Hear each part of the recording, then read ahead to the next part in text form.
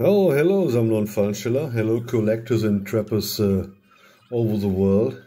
As you can see, I'm painting my little model horse.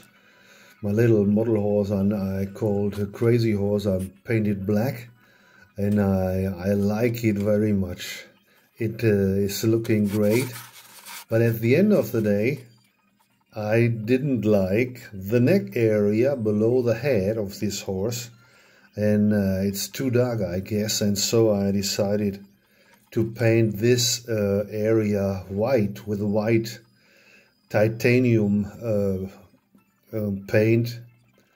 And uh, also I learned that uh, the color of the horse's mane depends of the color of its skin.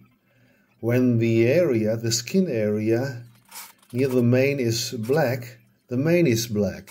If the area, uh, the skin area white, the mane is white. And now I will turn this area into white color and I hope you will enjoy it. Thank you for watching.